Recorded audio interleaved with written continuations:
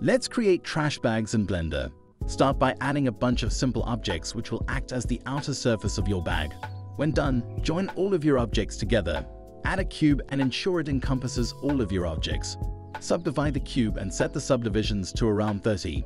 Give it a shrink wrap modifier, set it to your objects and set the offset to 0.1. When done, apply the modifier and in sculpt mode smooth out your shrink wrapped object. In edit mode, extrude out two of the top faces and then extrude and scale each one individually to create the knot at the top. Back in sculpt mode, select the cloth brush and start using it across your mesh to create the creases of your trash bag.